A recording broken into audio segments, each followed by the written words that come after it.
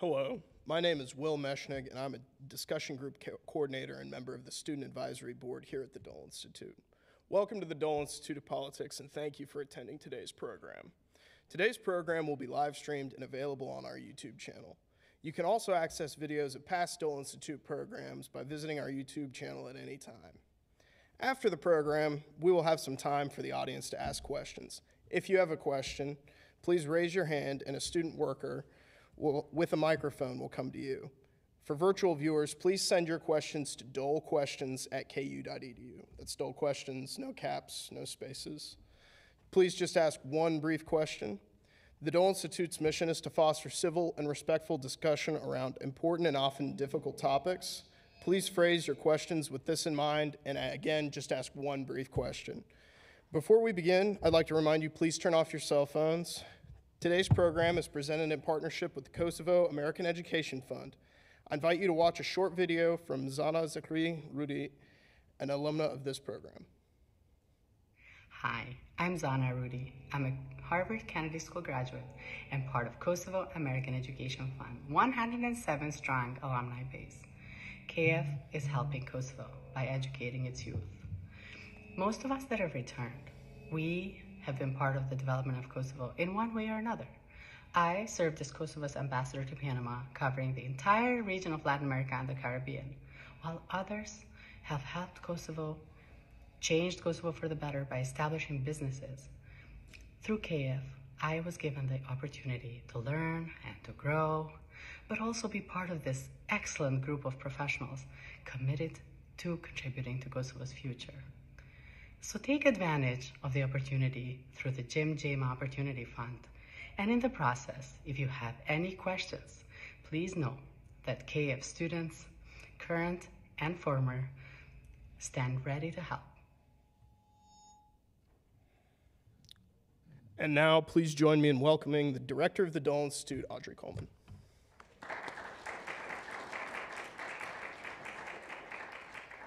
Thank you so much, Will. Great to see everyone this afternoon. Thanks again, Zana, for representing the Kosovo American Education Fund. It was a pleasure to work with you on our original program back in December 2021, and it's great to see you again.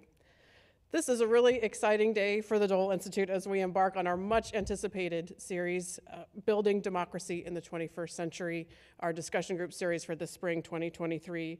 And these sessions will feature our spring 2023 Dole Fellow, Dr. Qëndrim Gashi.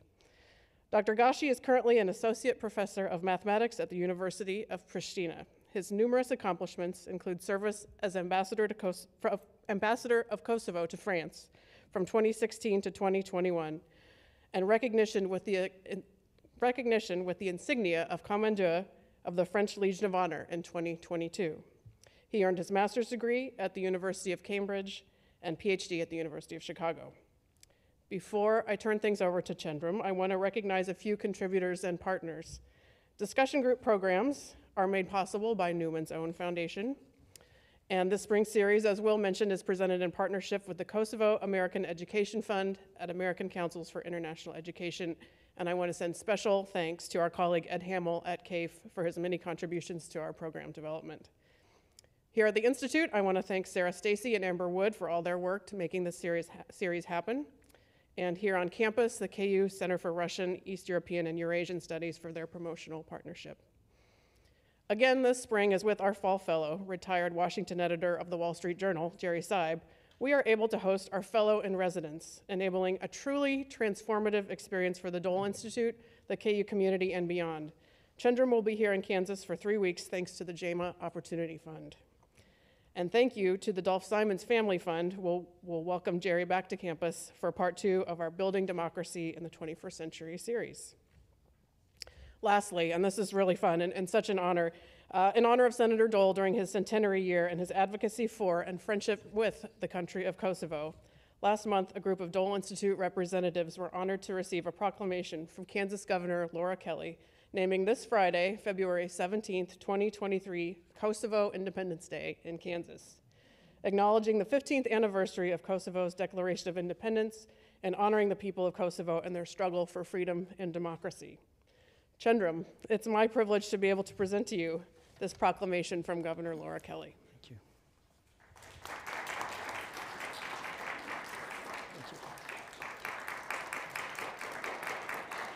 Thank you very much. Thank you, Audrey. Thank you. Thank you all for your time, and now it is with great pleasure I pass the floor to Dr. Qëndrim Gashi to introduce his distinguished guest and to bring, begin our program this afternoon. Thank you, gentlemen. Thank you. So, uh, I'm delighted to be the uh, Spring 2023 Fellow in And I would like to start by thanking the Institute and thank you, Audrey, and all the, your team uh, for the very wa- warm welcome here in Kansas. It's, it's wonderful to be in Kansas. It's my first time in Kansas. Uh, so, uh, late Senator Dole, as you mentioned, was an American hero who embodied the values of freedom and democracy, but he was also a friend of Kosovo. So it is really a true honor for me to have this fellowship.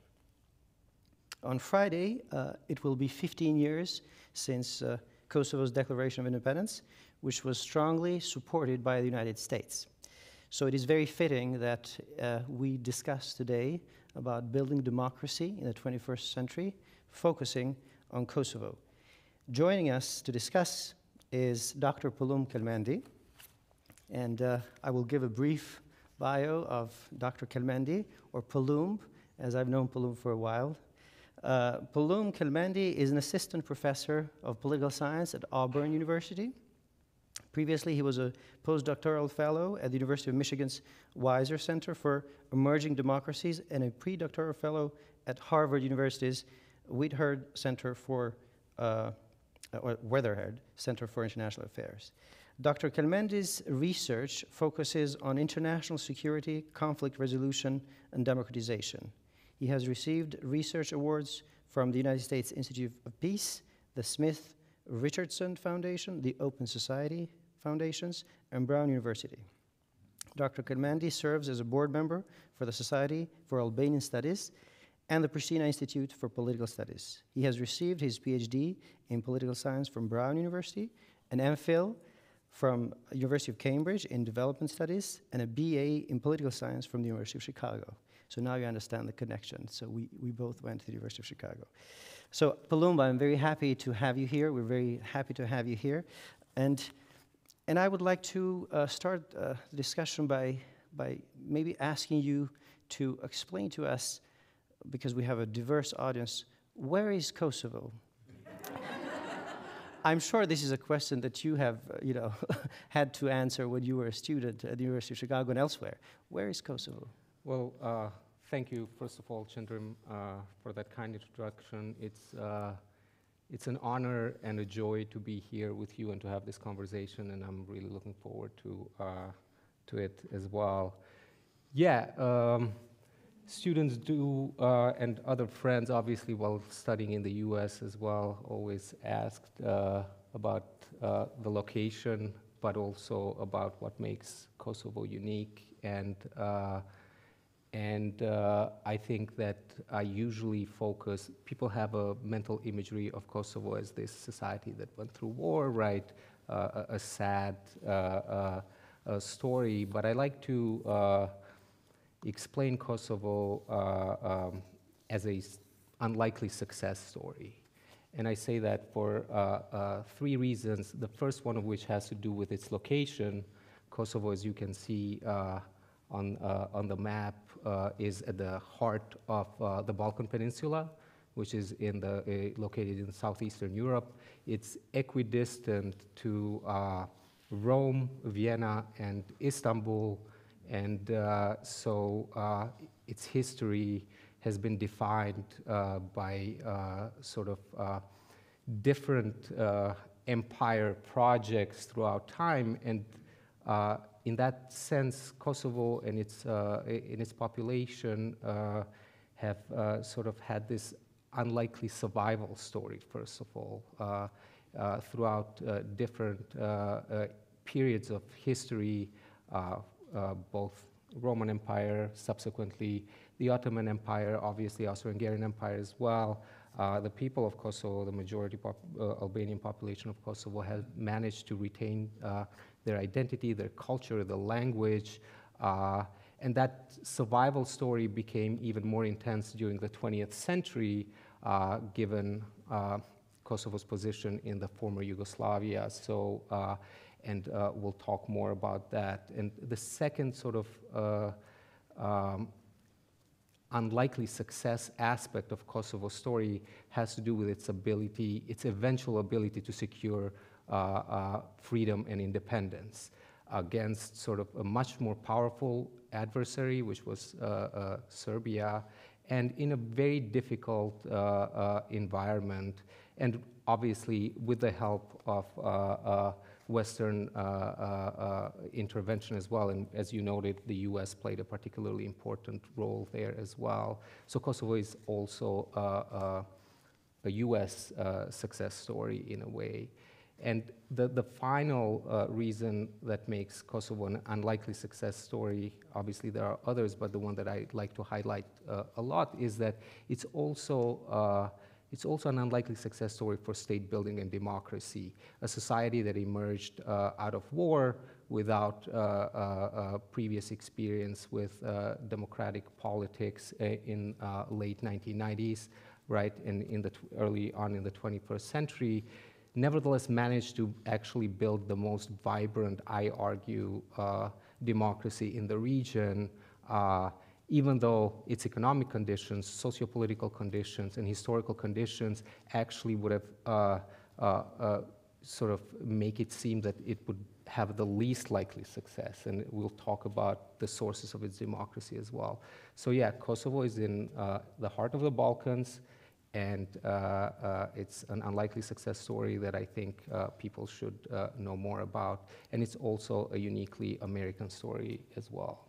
Great. So maybe just uh, one further question on the history, because of course, as you all know, uh, the Balkans uh, is always fascinated with history and sometimes with too much history. Yes. But nevertheless, um, uh, is the political entity called now Kosovo something that exists only recently, only as of 2008, 1999? What's so what's what's the history behind the yes, entity? Yes, uh, that's that's a good question. Um, the, the history part you mentioned, I, uh, there's often, uh, Winston Churchill is misquoted about saying that Balkans produces more history than it can consume. And uh, as we will talk later on, perhaps uh, towards the end of the 20th century, Kosovo uh, also did that uh, as well. So as a particular entity with its own sort of uh, identity Kosovo has existed throughout these different periods of uh, uh, time that I talked about, including, for example, uh, during uh, uh, the Ottoman Empire, there was this administrative unit that was called the Kosovo Vilayet, which was a part of the broader Ottoman Empire. It's actually, incidentally, also where Mother Teresa was born in the Kosovo Vilayet in the capital Skopje, which then used to be uh, the capital of the Kosovo Vilayet, and her parents were from Prizren as well. And then uh, there were different iterations with different uh, uh borders uh, in subsequent uh, sort of periods of time, but as an entity, as a political, administrative, and also sociocultural entity, Kosovo has existed for quite a quite a long time. Yes. Okay, so I, I want to switch gears for a moment. Um, so you will see a photo of uh, Senator Bob Dole in Pristina, Kosovo, in 1990, in August 1990. And this was the first senior official U.S. visit, uh, or uh, a visit by senior U.S. officials to Kosovo. Uh, so um, Senator Dole led a, a delegation where he encouraged, of course, democracy and freedom. Um, and for the audience, again, I, I, would like to recall that this was the period just after the fall of the Berlin Wall, as democracy was spreading around Central and Eastern Europe. Message of hope. In Yugoslavia, unfortunately, things were getting more complicated. And uh, you know, the United States at that time was uh, what is what some people call uh, a, hyperpower. So, with a, you know, uh, a term that's that's uh, popularized in, in the 90s. So, um, I would like maybe Pëllumb to uh, to tell us where were you? I mean, of course, you didn't welcome Senator Dole. You might, you know, you were young. No, uh, but where were I you never in, had the pleasure to meet him. So where were you in the in the in the 90s, early 90s, and and and how was life in the 90s? Uh, yeah, so I was four years old, uh, four and a half years old uh, when the visit uh, uh, happened. Uh, so I don't have a lot of recollection from that time. But uh, my life was about to change substantially uh, shortly after uh, uh, that visit because things uh, unfortunately only turned out uh, uh, for the worse. Before I make that note, I just like to emphasize that why was Bob Dole there at the time?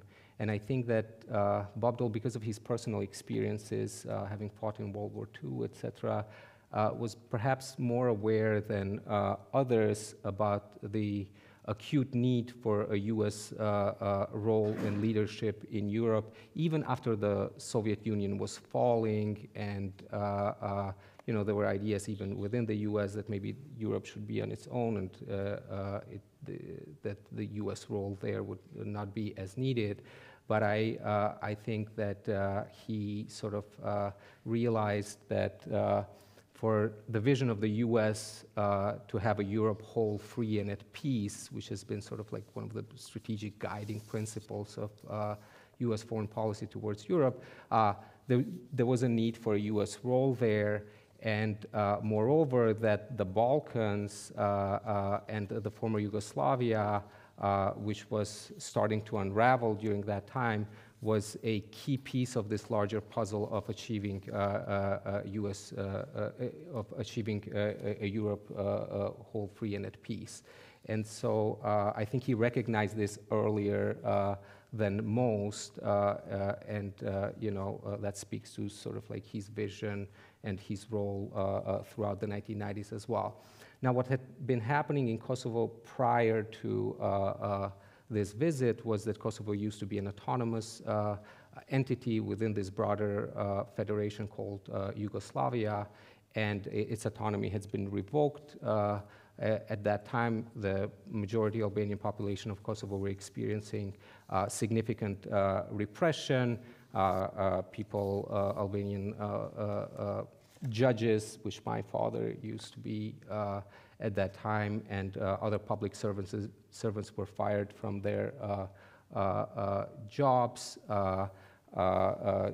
The education system was also unraveled. Al- Albanian-speaking so, education system was also sort of like ejected from from uh, uh, uh, Kosovo. And so what happened during that time was that, yes, as I said, two years after uh, Bob Dole's visit, I would uh, uh, uh I would start uh, my education, my schooling at uh, makeshift primary schools, right, the parallel system, etc., and also in very, very dire sort of economic and sociopolitical circumstances as a result of those measures that Serbia was using during that time. Yeah. So um, that's the period when uh, uh, in Kosovo um, uh, we, we, we call it uh, the peaceful resistance. Yes. Uh, so uh, this is a movement that was led by uh, the first president of Kosovo, Ibrahim Rugova. And um, before coming here to Kansas, I met with uh, one of his closest advisors. Uh, so uh, one of the closest advisors of, of the late um, Ibrahim Rugova. His name is uh, Dr. Alush Gashi, no relation to my, you know, half of Kosovo is a Gashi. Um, My and, uh, wife is a Gashi as well, yes. no relation. Yeah. so that explains any problems um, we may have. So, and uh, so he told me that Bob Dole was seen in Kosovo as a global leader in expanding freedom and someone that believed in American exceptionalism. So, uh, how, how did that help? Uh, and and uh, could you tell us a bit more about Kosovo's uh, uh, resistance during that period?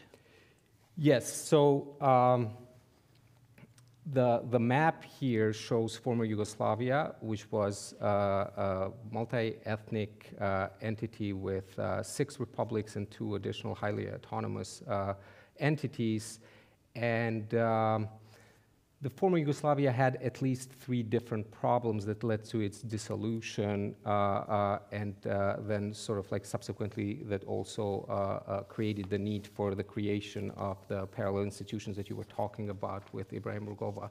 The, the first uh, problem of the former Yugoslavia was obviously the contradictions of its economic systems, which economic system, which I, I, can't go into too much detail of.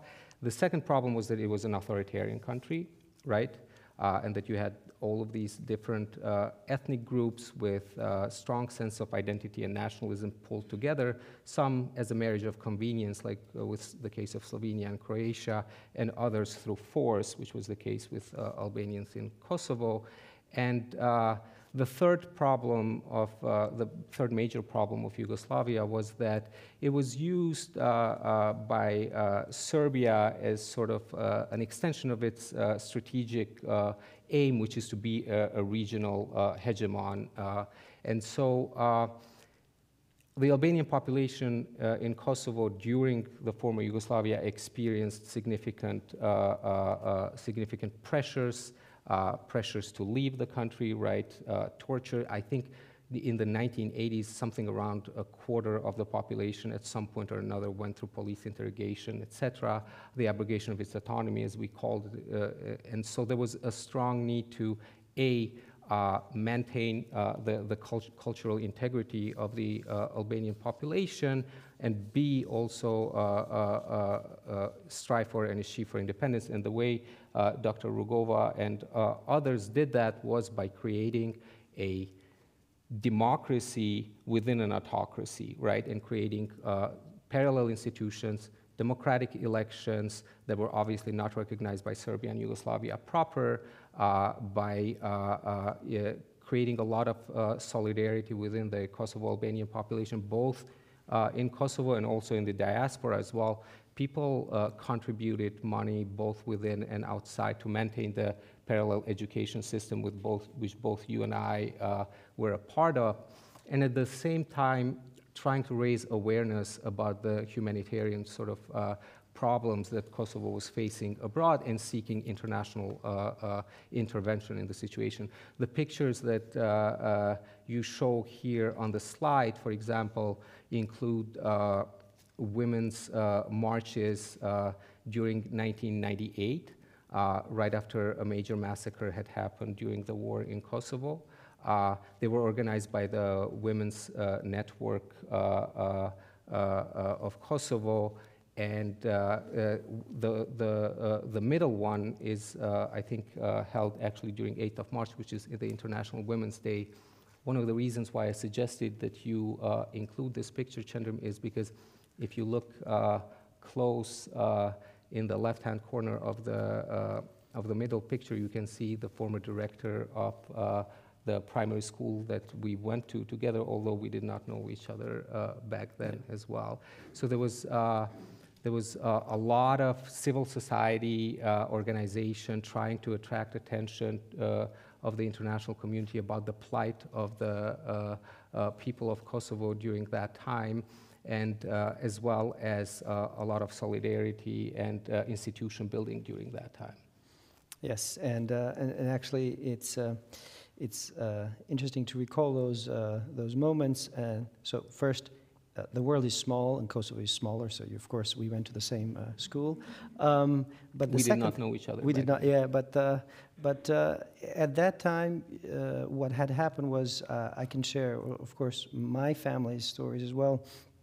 My father, who was a CEO president of a, of a public uh, company. Suddenly, you know, he was, he was not allowed to work. My mother uh, was teaching Albanian at a school. She was not paid because she was teaching kids in Albanian. And of course, the, the only television that existed was shut down, et cetera, et cetera. So, um, so the pressure was real, but, uh, but uh, we, you know, we managed to organize ourselves and uh, we were inspired uh, and supported by, by the United States in, uh, in this endeavor. So uh, since I mentioned the United States and since we are in the US, uh, maybe uh, I would like to turn our focus now on uh, the uh, Albanian American or Kosovo American diaspora and the role that it played in building democracy in Kosovo. And at this stage, you know, we're talking about actually getting Kosovo free. So building freedom and then democracy. Yeah, so um, it's hard uh, to talk about these events without going back too much in history, but uh, it's important uh, uh, uh to note that one of the struggles for uh, Kosovo during this time was to attract international attention to its plight. And unfortunately, international attention is usually focused when there's armed conflict. Kosovo had chosen a nonviolent peaceful resistance during the uh, early 1990s, while the rest of uh, uh, former Yugoslavia was in flames and engulfed by war. And so the focus of the international community, for the most part, besides some uh, important uh, actors such as Bob Dole, was primarily in the conflicts in Bosnia and in Croatia, etc. And so what the Albanian American uh, community did uh, particularly effectively was not only to help with a, uh, with a civil society organization uh, uh, back uh, in Kosovo, but to also raise awareness about the, the plight of the community outside. The first picture that you can see on, on the slide is an, a protest that is organized by the Albanian American community in 1995 uh, Uh, during the Dayton peace uh, uh, talks uh, and asking for Kosovo to be included in, uh, in those talks. Unfortunately, it was not. So the, those were the talks, for the audience, those were the talks on Bosnia. On Bosnia, exactly. So those were the talks on Bosnia, Croatia, and Serbia were part of these talks to solve the, the, the bloody conflict that had sort of uh, been there uh, uh, in the first half of the 1990s, the Albanian American community was asking that the Kosovo issue be included in those talks. It, it, it was not, but they kept up their pressure they kept protesting again. The, the, middle, uh, the middle picture there shows a protest uh, that was held in March 1998 uh, when those previous protests in Kosovo were occurring as well. Uh, uh, raising awareness about the, the massacres that were going on in Kosovo uh, uh, uh during uh, 1998 and earlier as well, and seeking for a, a more international commitment and intervention in the conflict. and eventually, I think they did manage to influence more and more policymakers to do something about that and one of the reasons why they were successful, I think, was in part because uh, the cause that they were uh, promoting was a cause for human rights, right? It was a cause for freedom. It was a cause for uh, uh, uh self-determination as well, something that resonates with others and something that particularly resonates uh, in the United States, which is sort of like the ideational home of a lot of these of a lot of these concepts, and uh, that, uh, that led to an, an increased role of the U.S. in the conflict, which eventually ended up helping it solve. So we will come to the U.S.-Kosovo relations um, uh, a bit later. Uh, now, uh, as, as, you can see, we're going chronologically through the recent history of, of Kosovo, and so you know, a mathematician tries to be structured sometimes, and uh, and but uh, so now it's the the most difficult chapter. It's it's the chapter of war. Um, so. Um, uh, we have seen the pictures of the war refugees in, in Kosovo. Some of you may have seen them. Um, some other people have been in that position uh, so again, where were you during this period? Um, I was uh, uh, I was a refugee as well. Uh, um, eventually, uh, uh, in uh, in March and April of 1999, a lot of the Kosovo Albanian population was ethnically cleansed from the area and through various mechanism mechanisms. the picture that you can see there shows Kosovo Albanian refugees uh, leaving Kosovo uh, towards Macedonia. That was uh, where I ended up as a refugee as well. Um, and it was a particularly dark moment of Kosovo's history, obviously. but it was also a moment, at least for me, as, as a young person back then, of uh, hope and optimism in uh, humanity too, because at this very dark moment in history, you also saw so much uh, uh aid in refugee camps, people from all over the world, uh, particularly from uh, the West and the United States, aiding in different ways, right? aid packages, aid workers, and uh, you know that gives you a lot of hope and a lot of faith in humanity as well. And I think that that's also uh, an element that I took uh, away from it. Obviously, uh, you know there were not so pleasant uh, experiences during this time as well. I remember when I started doing fieldwork research much later on as a PhD student. I had to travel a lot back and forth between Kosovo and Macedonia because my research involved uh, uh, Macedonia as well.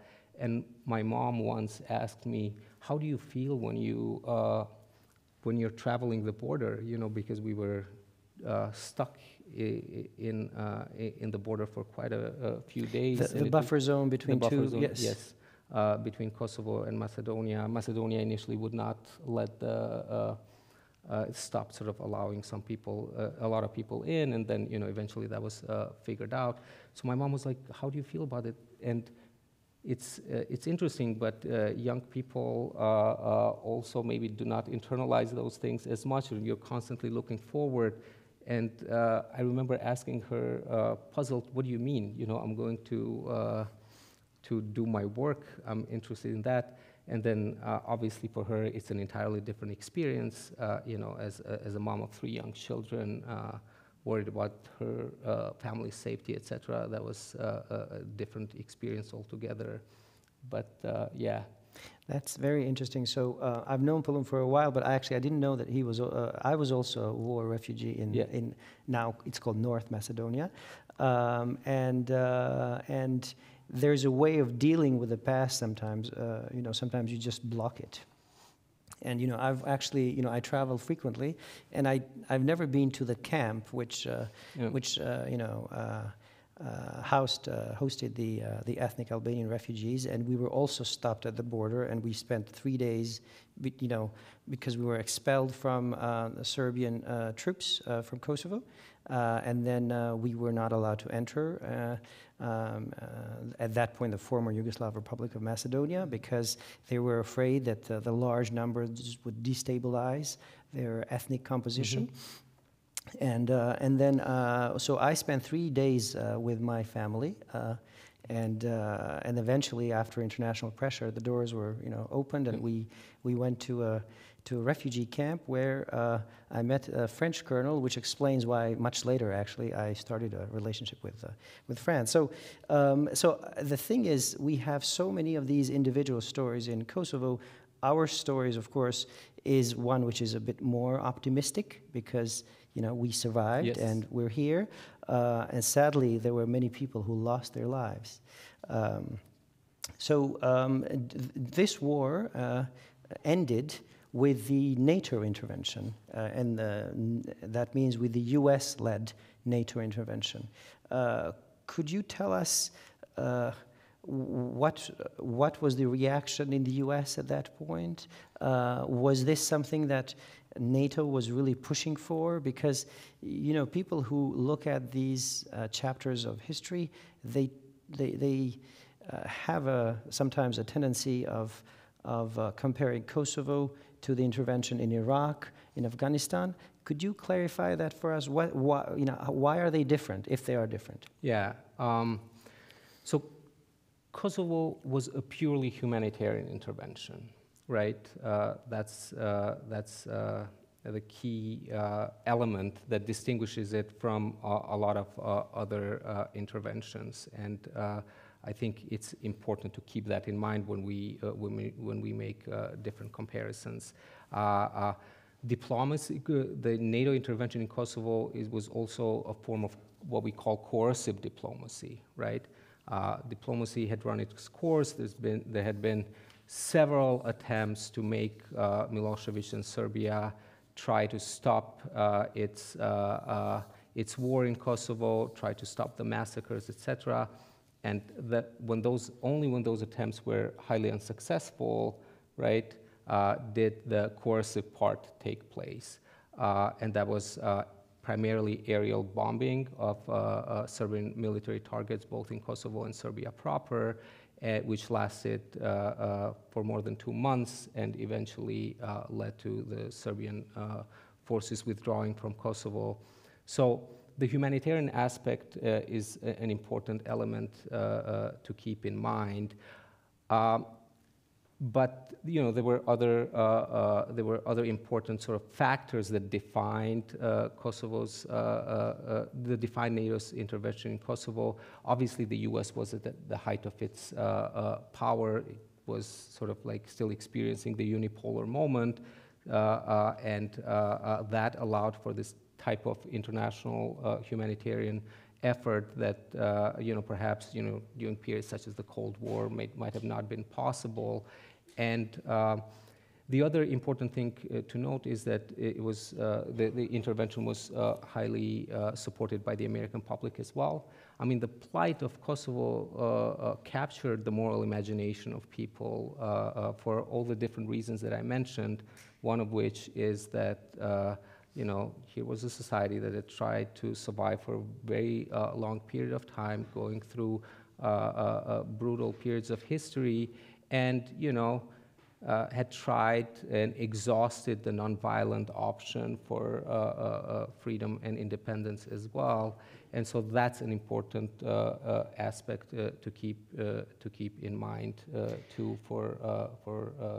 NATO's intervention in Kosovo, for sure. Yes. I would just like to add that the reason why maybe people make some of those parallels have to do with the fact that NATO's intervention in Kosovo also exposed the limits of uh, complete international uh, multilateralism, uh, especially via the UN, limits that are even sort of like laid bare entirely now with the conflict of, in, in Ukraine.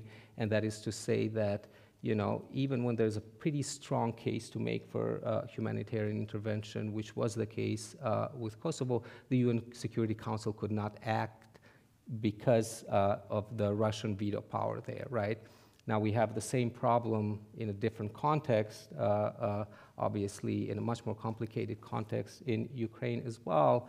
But so NATO's intervention in Kosovo also uh, exposed the limit of, of um, you know, UN diplomacy in that regard. But it was a multilateral effort nevertheless. You know, uh, uh, it was uh, uh the U.S. did not do this uh, on its own. Actually, you know, there's an argument to be made that countries like Great Britain maybe pushed for it uh, even more so, right? And this, it was a, a broader alliance that did this, and I think it's, you know, and the NATO intervention in Kosovo then raised serious debates about right the uh, norms of uh, humanitarian intervention, responsibility to protect, you know, the the tension between uh, uh, uh, uh you know these these different norms as well, and debates that unfortunately have not been entirely resolved.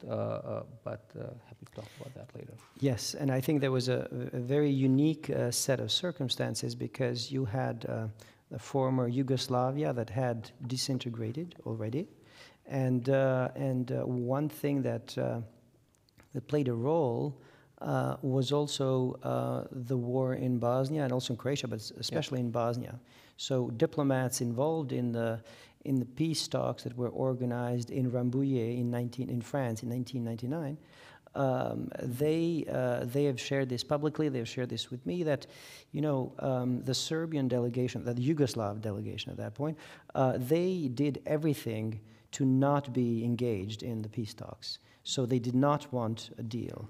And, uh, and so it was difficult for Western diplomats to justify why action is not being taken after the genocide in Srebrenica and the massacres in, in Bosnia. So I think this, in a sense, it's, it's, it's unfortunate, but the, the lessons from Bosnia uh, were taken into account and they were helpful to address uh, Kosovo a bit earlier than you know than it would have done it would have happened otherwise uh, I mean I think that's uh, uh, but there's an element that we neglected in this uh, we, we, we, spoke about the, the peaceful resistance, we spoke about the aerial bombing, but we did not speak about the armed struggle yep. of Kosovars themselves. So, um, who were these Kosovars who took up the arms and, and believed that they could, you know, oppose a mighty uh, country uh, in order to defend uh, their freedom?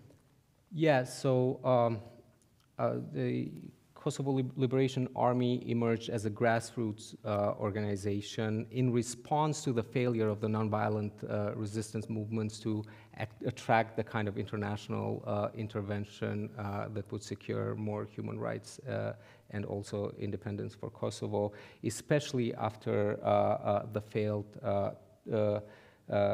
sort of the, the international community's failure to incorporate Kosovo in the Dayton Peace Accords. Uh, uh, that really provided a huge blow for uh, the nonviolent peaceful movement because its entire sort of like strategic goal had been to attract more international attention to Kosovo's plight, and it was completely neglected. So you had uh, different groups throughout Kosovo uh, uh, in response, oftentimes, to the casual terror that young men in particular uh, uh, uh, were experiencing by the Serbian police on a day-to-day basis, organized initially in small bands and then as the, as the Serbian response to this movement sort of like became much more aggressive and also focused on civilians, right? that uh, uh, became complete sort of like national movement by uh, the end of 1998 and beginning of 1999 as well. So, okay, so now we're in June 1999. The war has ended. Um, you have NATO-led uh, troops called KFOR uh, that entered Kosovo. The Serbian Yugoslav troops they withdrew from Kosovo. There's a UN resolution 1244 passed at the Security Council that, uh, that um, started uh, an administration uh, that was led first by a Brazilian, then by a, a Frenchman. so they appointed someone who was like the, the king of Kosovo, the, the, the SRSG, like the yeah. special representative of the Secretary General, yeah.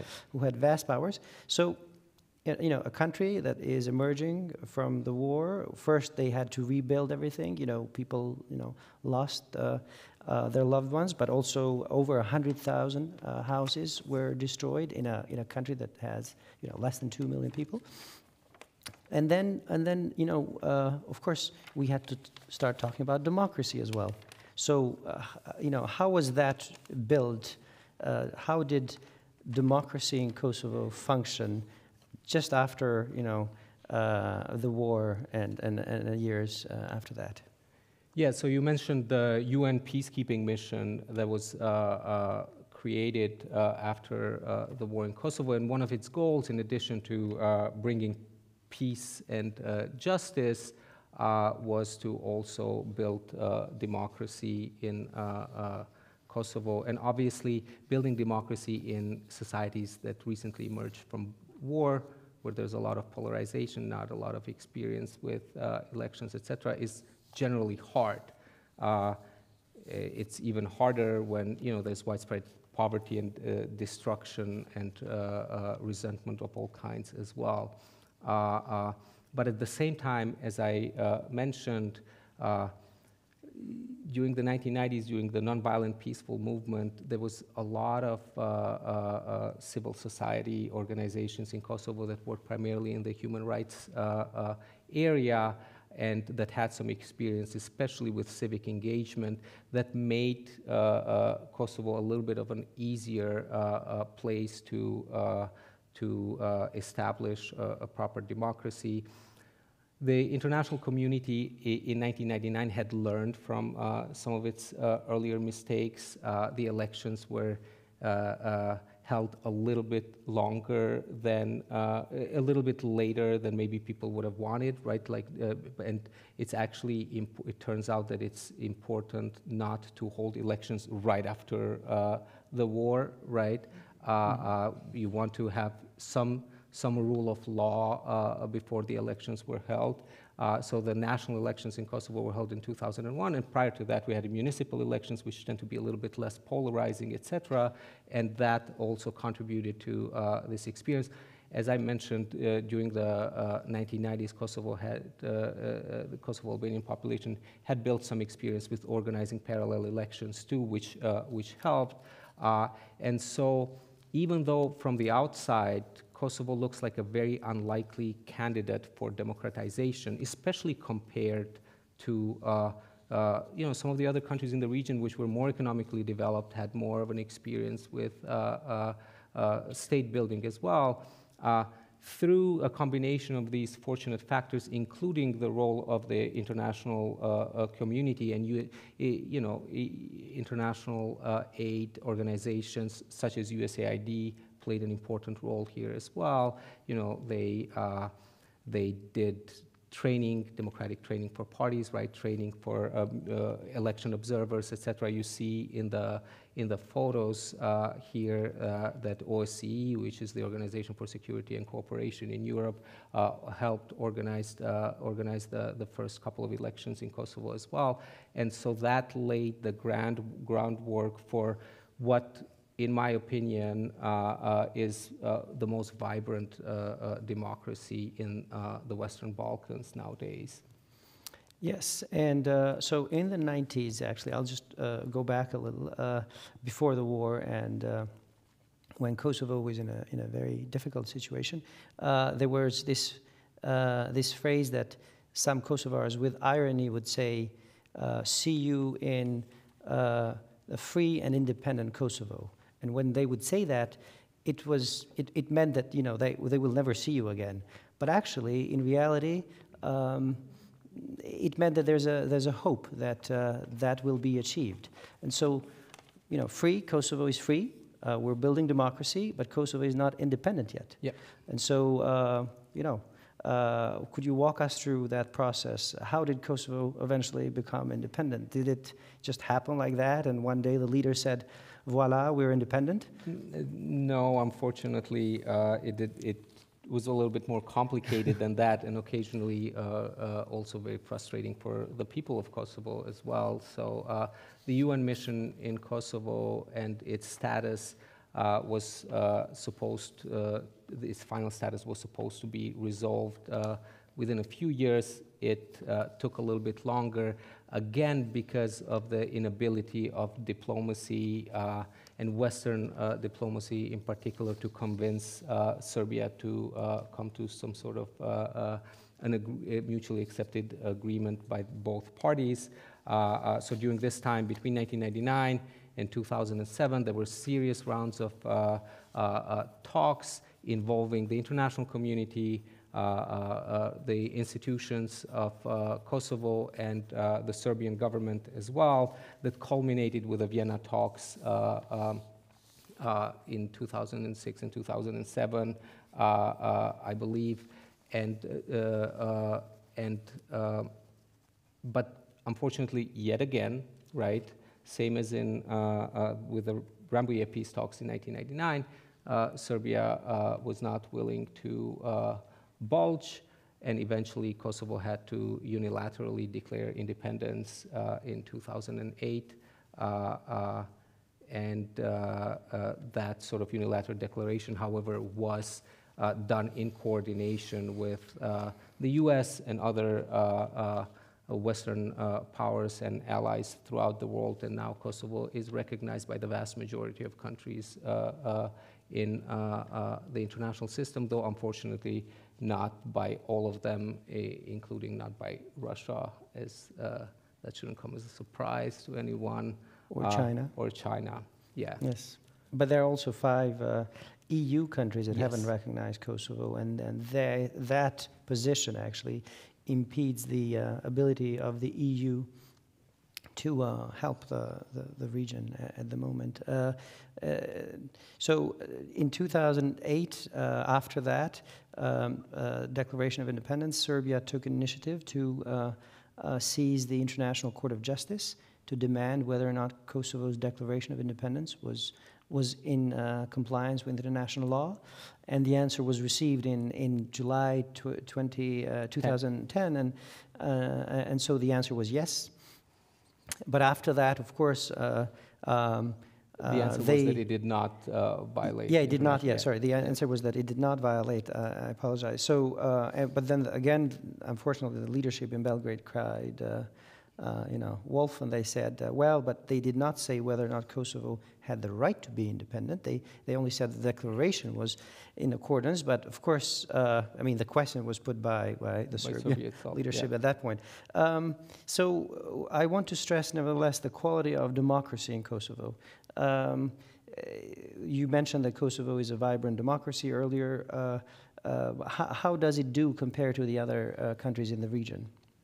Yeah, so obviously measuring and comparing democracy, and this is where I get into more of the technical, academic uh, uh, stuff that maybe uh, people are not as interested in as uh, those of us in academia, can be uh, hard, and there are different types of metrics, some of which are more subjective than others. Uh, I've prepared a slide here that shows where Kosovo's democracy is in the year 2021 compared to the other countries uh, in uh, the region. And the metrics uh, include sort of the liberal democracy index and the electoral democracy index that are prepared by the Varieties for, of Democracy project, which, in my opinion, and most of, the opinion of most scholars of democracy, is probably the most objective, sophisticated way of measuring uh, uh, democracy. It measures democracy along more than 70 different uh, vectors using uh, experts from uh, uh, different uh, uh, places, tens of thousands of thousands of experts, if I'm not mistaken. And so, as you can see here, this is very interesting, I think, and very important to note on both uh, the both the electoral democracy index, which measures things like whether the elections are free and fair, whether uh, uh, you know there's civic free uh, civic engagement, right? Whether there's free speech, etc. Uh, uh, and also on the liberal democracy index, which measures even things like separation of powers, right?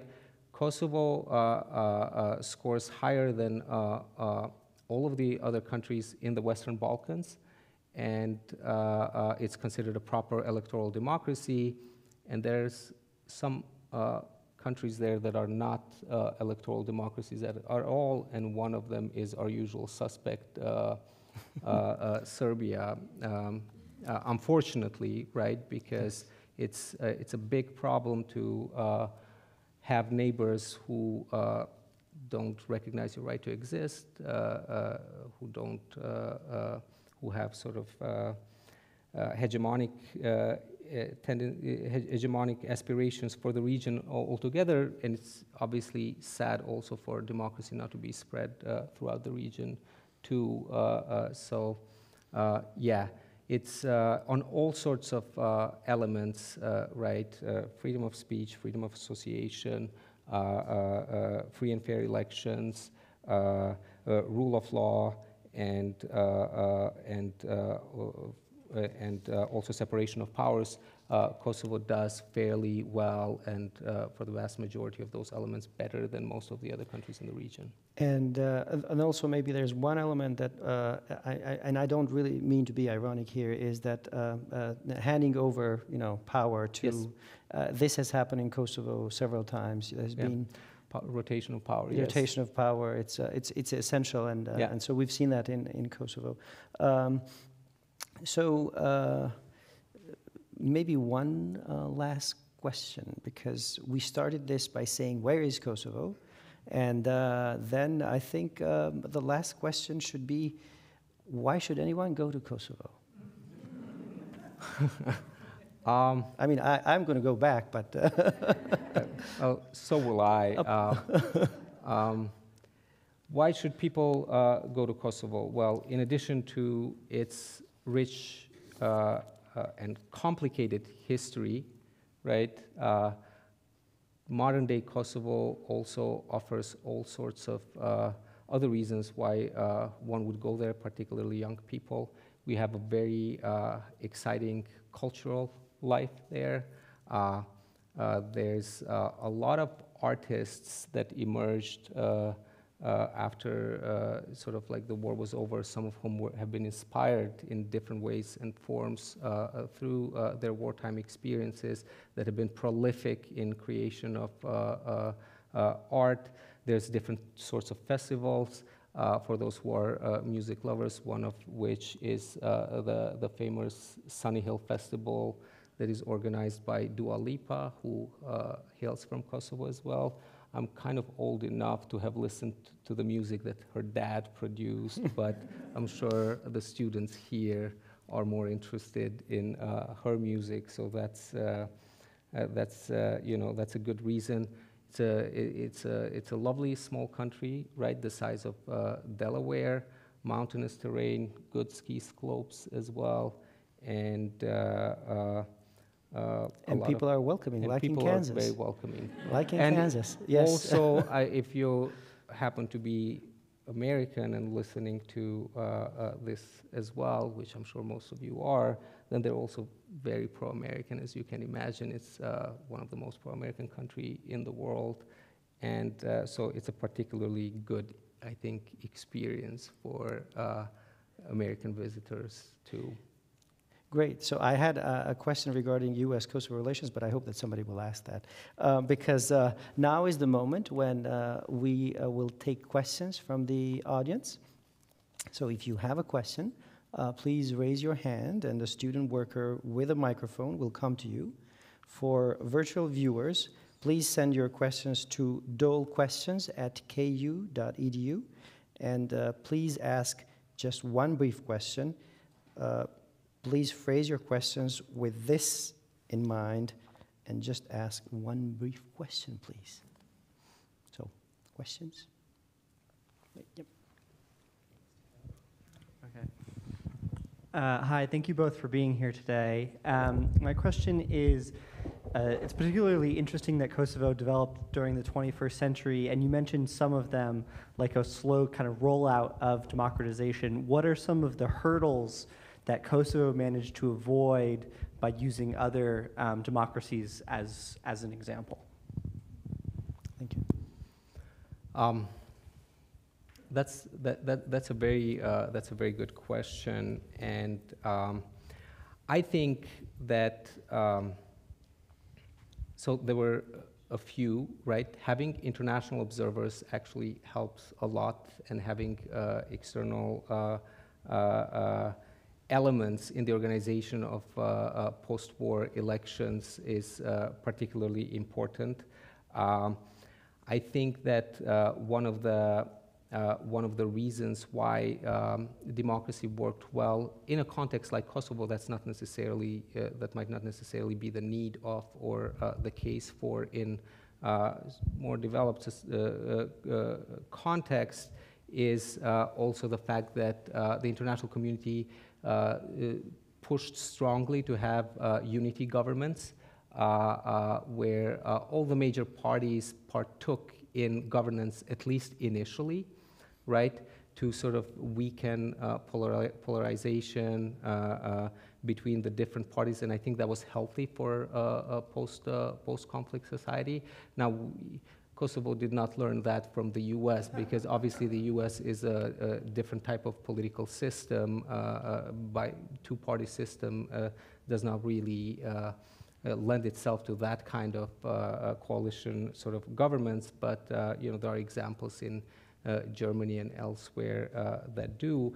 But I think the other thing that uh, Kosovo learned, and it did so from the U.S. Uh, in part because the U.S. pushed for it so much, is the importance of civil society in uh, in uh, building a democracy.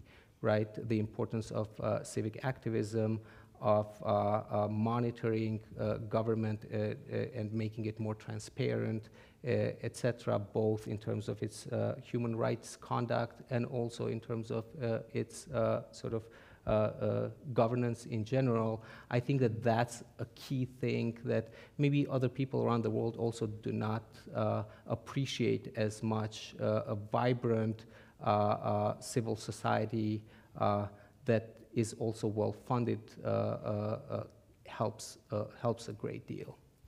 Yes, and, and so um, I will mention that uh, two weeks from, from, from today, we will have, so we'll have, a, a- of course, a series next week and then one uh, two weeks from, from now.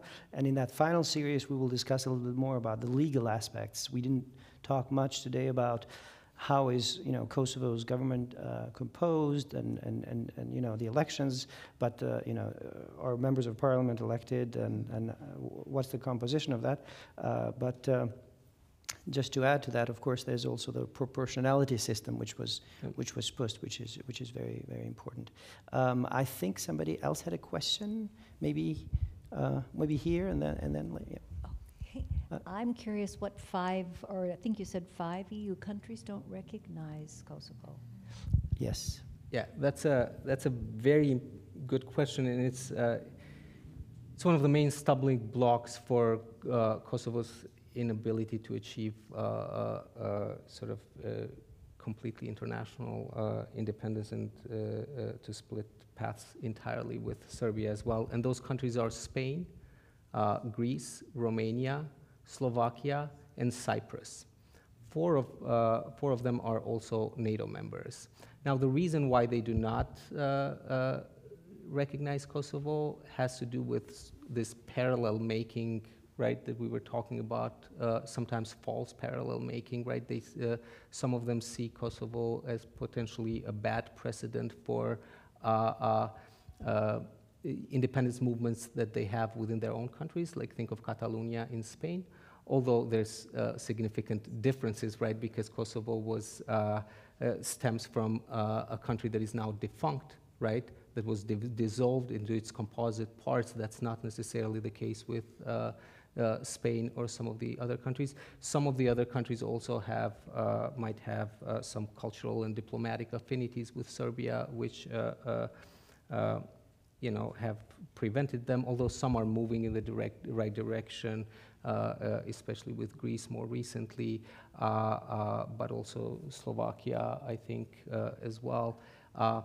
But it's important to note that uh, this lack of recognition by the five EU countries has significantly weakened uh, uh, the US and EU, European Union leverage towards uh, Serbia with regard to its role in Kosovo because uh, um, one of the best carrots that the uh, West has in terms of inducing Serbia to be a more cooperative actor uh, uh, in general in the region, but particularly uh, uh, with Kosovo, is you know the prospect of eventually joining the European Union, right? And uh, so long as we have these non-recognizers, right, uh, uh, the Kosovo's own path towards uh, joining the EU can uh, uh, seem a little bit more uh, uh, complicated as well.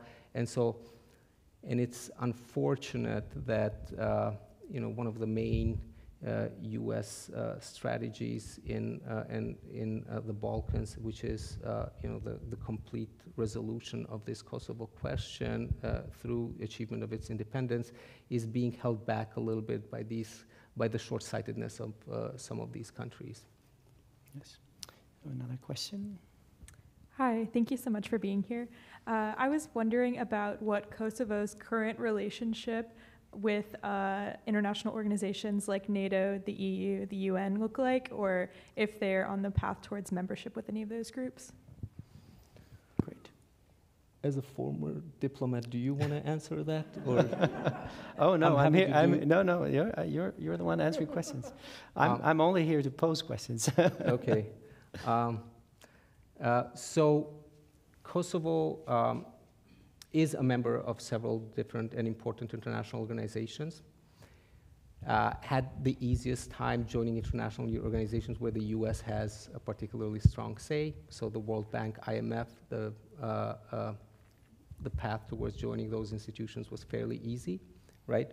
Um, it's, a, it's a member of uh, several regional organizations as well, and it has a relationship uh, and contractual rela- relationship now with the EU as well, right? But it's very early. Uh, uh, it's very early in uh, the process. Uh, uh, Kosovo would like to be uh, a member of, uh, uh, you know, other important international organizations, including uh, uh, the Council of Europe, which it, which it fulfills the criteria for. I mean, democracy is uh, one of the main criteria there, even though you have countries uh, uh, that are not uh, entirely democratic, and, you know, many other international organizations, obviously the UN, but that's, that's going to be very difficult with the intransigent uh, uh, role that uh, Serbia and its ally Russia plays in that regard. But that's also very, uh, im- im- i- it's a good question for uh, uh, another important reason, and that's that uh, um, to be a member of the current international uh, community, right, you need to be a part of uh, as many international organizations as possible, and especially if you buy into the, the US-led international order, which has been uh, created since the end of World War II, and particularly after the fall of the Soviet Union. And uh, obviously, Kosovo uh, aspires to do that. Uh, there's uh, uh, still some more work to be done. Unfortunately, much of it does not depend on Kosovo per se, but on the external actors. Yes, indeed, and, uh, and, and so uh, Kosovo did formally submit its uh, request to join, for example, the Council of Europe, but now there are also, for your information, diplomatic efforts um, uh, led by the EU through a Franco-German proposal, supported, strongly supported by the US, to settle uh, disputes between uh, Kosovo and Serbia and to have an agreement which is, is going to be a pre-full normalization agreement. So this is not going to be the full normalization agreement, and uh, that means that some countries, uh, even you know um, in the West, hesitate to support uh, Kosovo's uh, membership at the moment by saying, "Well, we want you to you know come up with some agreement so that uh, the path is going to be smoother." Uh, so we have time for one final question, and I think it's the gentleman over there. Thank you guys for doing this talk. You. So you alluded to that one of the reasons the transition from the peaceful resistance to the actual armed conflict was the failure of Kosovo to be included in the Dayton Accords. Looking at Bosnia now and the kind of gridlock that has developed and the failure of them to advance uh, their democracy, do you think Kosovo, in this new proposal with the Serbian regions, um, can avoid the problems that the Dayton Accords have kind of given Bosnia? Do you think it was actually better for the fact that Kosovo didn't kind of fall under that same structure and design? No, that's a very smart question. Um, okay, so um, on the one hand, uh, Kosovo's inability to uh, attract uh, international attention during that time was a failure, right? And uh, a failure also of international diplomacy in that regard, uh, more so than you know the the, the nonviolent peaceful uh, movement. Uh, the but it is also uh, correct, I believe, to say, as you imply, that the Dayton Peace Accords, while they were successful at ending the violence and the war, uh, they were uh, not so successful and created the seeds of uh, uh, future problems uh, for Bosnia. Now, to just contextualize this discussion for the rest of the audience, what happened was that in Bosnia, they created, they decided, in order to end the war, they decided to uh, create a territorially and ethnically heavily decentralized federation that primarily uh, uh, Serbia asked for in order to end uh, the war, right? And so I mentioned at the beginning of the talk that one of the big, uh, one of the biggest problems for Kosovo and the region, even during Yugoslavia, was Serbia's strategy and its sort of uh, strategic culture to uh, remain the regional hegemon, right? And they tried to do that prior to Yugoslavia. They did it uh, during Yugoslavia as well by basically wanting to call the shots, right? And when Yugoslavia failed, right, they tried to do that through war. And when war failed, they tried to do that through devising institutional structures, right, like decentralized and uh, autonomous entities in Bosnia, uh, like Republika Srpska, where even though they no longer control these countries uh, uh, uh legally, right?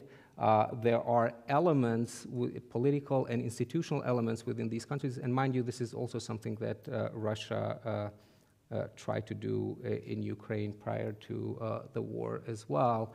Um, uh, to sort of like create these different countries uh, uh, and influence their foreign policy, their local policy as well, through the Serbian communities within those countries right?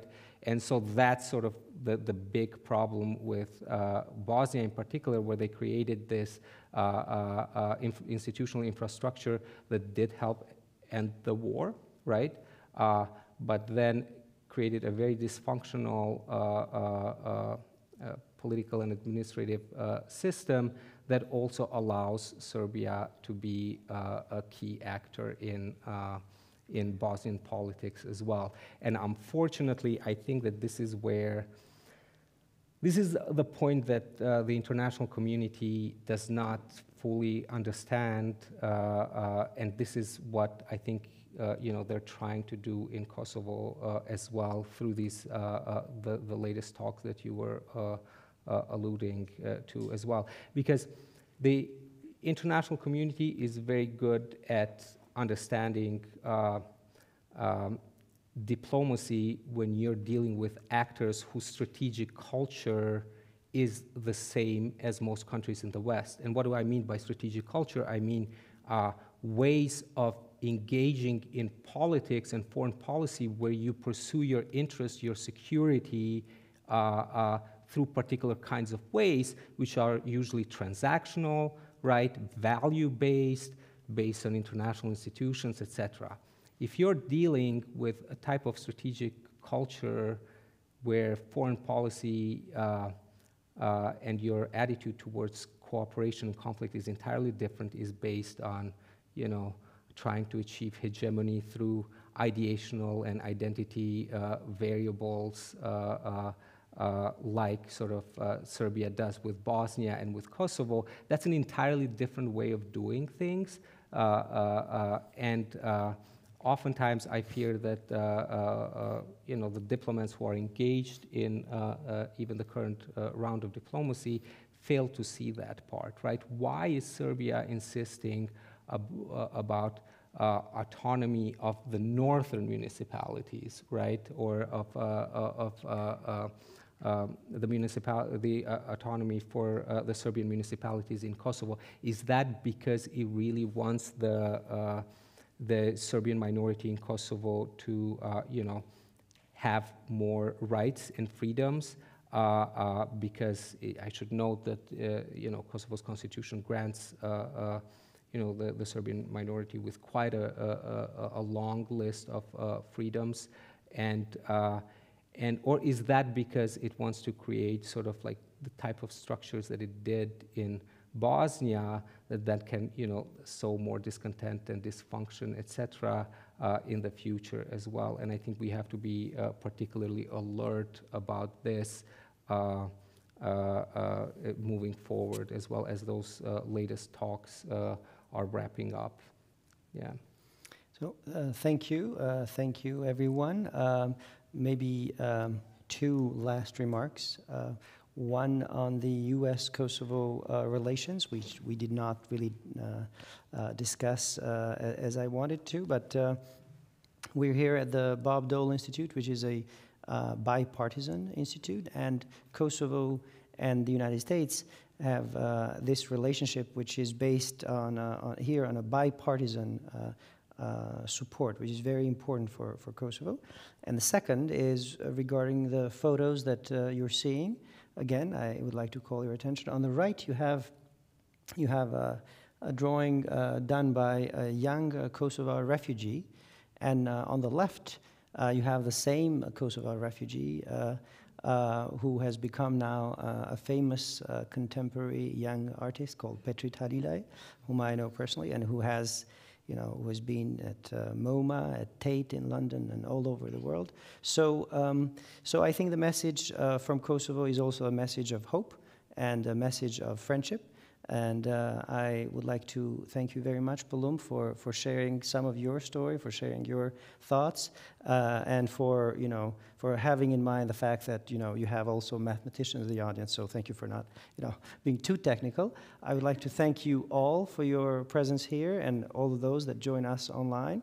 Uh, and I would like to invite you to join us again next week when uh, we will have um, uh, former president of Kosovo, Jahjaga, joining us to uh, continue our discussion on uh, building democracy in the 21st century, focusing on Kosovo. So thank you again, and uh, we're happy to continue uh, speaking with you after this is over. Thank you. Thank you so much.